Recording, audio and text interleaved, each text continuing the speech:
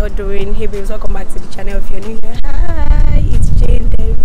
If you are a returning subscriber, hey babe, how you doing? I am a lifestyle content creator and I'm currently living in Port Harcourt, River State, Nigeria. And if you are a returning subscriber, hey babe, how are you doing? Okay, so I am currently at River State University. It was called UST University of Science and Technology, so it's no more UST called ROSU now okay? So I just wanted to show you like some places. Not like I can go everywhere.